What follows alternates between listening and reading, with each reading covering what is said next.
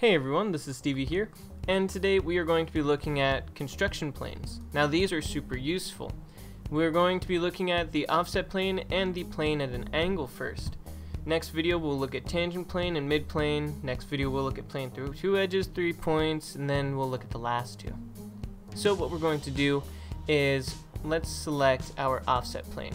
Now if you read the little description, this is a plane that is offsetted from a face or another plane. So that means that we have to have a planar face, one that is flat, in order to be able to do this. So any face on here works, but only, you'll see, only the top and bottom of this cylinder work.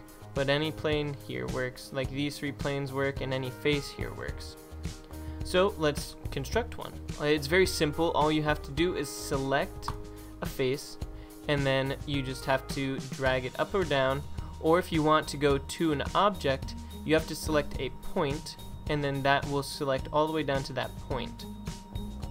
Now, additionally, if you had like, let's say we'll construct this offset here, and then we wanted to offset another plane from there, well, instead of selecting this face and offsetting it by like 30 millimeters or whatever, we can actually just select this plane and offset it by another 30 millimeters, and then have like even spacing the whole way through.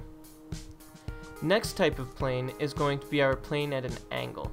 Now if you read the description on this one, this goes through an edge, an axis, or a line at a specific angle. So once we have selected our line, so we can select any line, but you'll see the faces don't light up anymore, but the lines do, so we can select any of these lines or any axis here. We'll select, uh, like, let's say this one, and then you just can rotate this to choose the angle that you want. So we'll do like 45, and then we'll go and create a sketch here. Let's do like a rectangle like this finish. And then we can actually use that to cut through this. And we'll press OK. Now that's some weird looking geometry. But you'll see it's like a perfect square.